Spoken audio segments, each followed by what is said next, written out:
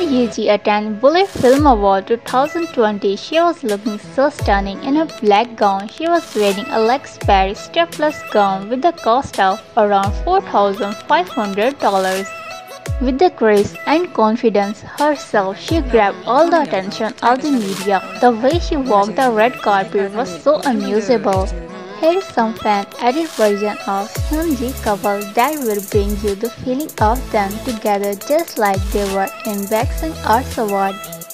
Anyhow, Seo Ye-ji won Popular Star Award. Upon winning the award, here is what she said. First of all, I sincerely thank you for inviting me to the 2020 Buil Film Awards.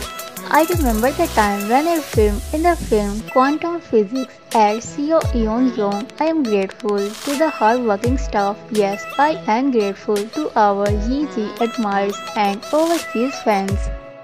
Anyhow, It's Okay Not to Be Okay is considered one of the most successful works of the K-beat industry in 2020. Not only that, it also evaluates the popularity of Kim Soo-hyun and Ye-ji across Asia.